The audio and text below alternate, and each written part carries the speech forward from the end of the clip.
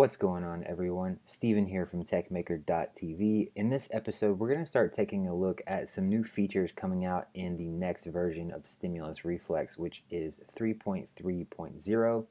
And it's got some really cool stuff in it that I think has the potential to be game changing. So, if you're not familiar with what Stimulus Reflex is, we've been using it to add reactive style features to our apps. So, essentially, just here on the page, we can change something and it's going to update a few different things on the screen and it's not doing it via JavaScript over you know a controller action and so on and so forth it's just sending something over WebSockets to the server and then receiving back some HTML over the WebSockets. By default what happens is Stimulus Reflex re-renders the page that you're currently on and sends that HTML back over the WebSocket and then does a DOM diff and on simple pages like this, it's really quick. So if we go look at the last request that came through, let me zoom out just a little bit. You can see all the HTML that was sent back. That's the entire page essentially. You have this uh, selector body here showing up to show basically what to do the DOM diff against.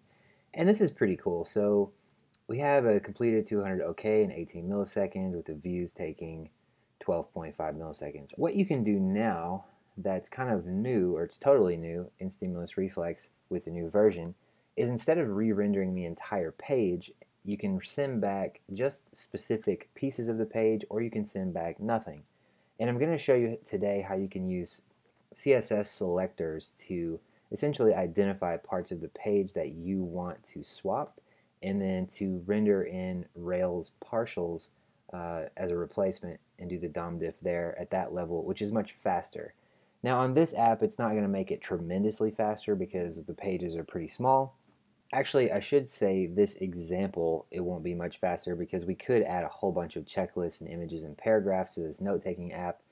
Um, but in this example, it'll make a small difference, but we'll, we'll be able to see that, I think. Um, but anyway, let's get started and see how we can make this work. If you're new to the channel, my method is sort of to work through things um, live for the most part and try to work it out. So I've got a rough idea of what I'm doing here and um, we'll see where we end up. I will want to point out that this is actually like the 16th or 17th episode in this series. If you want to follow along and build this entire thing out from scratch, uh, all of this or most of it's on the YouTube channel.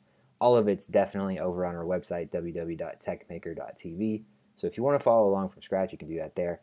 But anyway, let's dive into some code. So First thing we need to do is open up our gem file. And I'm going to come down here and I'm going to update this to be stimulus reflex and I don't actually want that. I want 3.3.0.pre2. So let's go back, let's turn off the server here and then let's bundle. And we should see that switch from 3.2 to 3.3. Cool, so let's fire our server back up here we shouldn't actually have to make a lot of changes as far as I understand it. So let's go back over to the server, refresh. I'm going to have to log in again. And uh, let's go back over here. Okay, so we're good now. So let's pop back over to our code. We don't need that anymore. I'm going to go ahead and open up the pages show and just remind myself and everyone else where we are. So basically we have this form stuff at the top, which is basically the buttons. We can edit the title or we link to the edit page whatever. Then we're uh, rendering a bunch of elements. So there's different sorts of elements um, and you can check out one of the last episodes where we kind of broke this down into partials. But I've got this in a checklist partial here. And what I want to do is basically put an ID on this and I'm going to say ID equals uh, checklist, and then let's do checklist checklist.id. Um, yell at me if you see me misspell anything. Uh, anyway, so now um, what we can do is go over to our what is it checklist item reflex. And here, what I'm going to do is just say morph. So again, if you haven't seen any of the, any of the previous stuff, this may be a little bit foreign. Um, so you have to check that out. But what I'm going to do is just make a small modification here. And instead of, by default, if this is not here, this is going to re-render that page, or at least generate the HTML and send it back over the wire.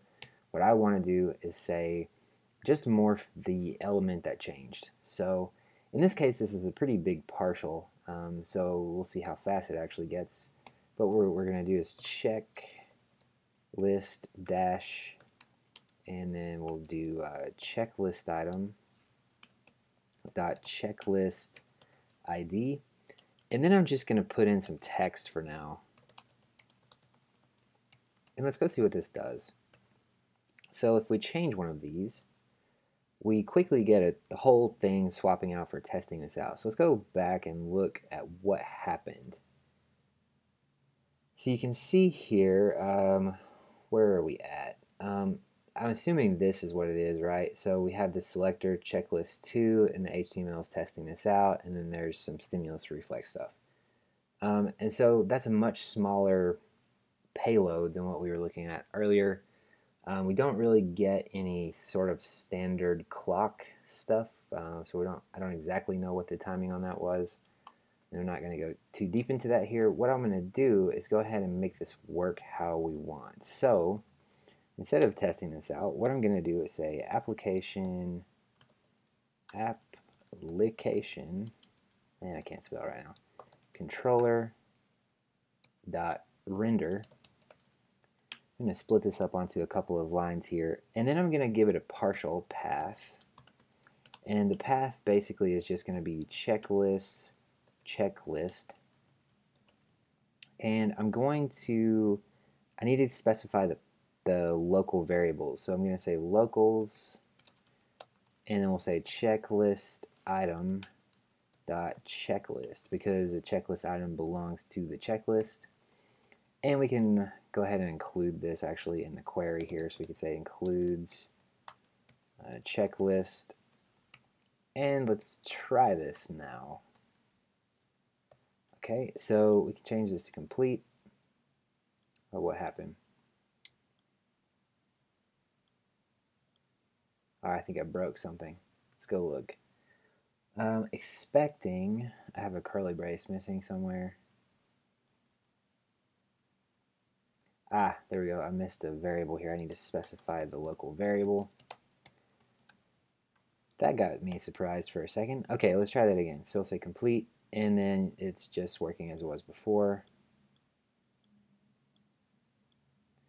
Okay, so now let's go have a look at that and see if we can see how fast that's running.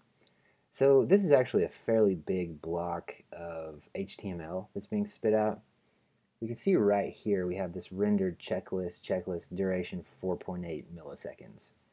Um, so you can imagine that's actually a lot faster actually if you're rendering less HTML, but that's still faster than re-rendering the whole page earlier. Now we're talking about very unnoticeable differences again, like on this project um, right here.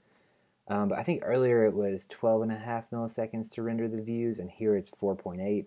So you can imagine if you had a really complicated big view going on and you were going to re-render the whole thing back, it might be a little bit laggy. Whereas with this, if you can render just a little snippet back, it's going to be much faster and, and feel really seamless. So I think that's really awesome. Um, you, this also works with view components, so I'm going to do another episode right after this one in one of our other projects we've been working on where we do view components as an example.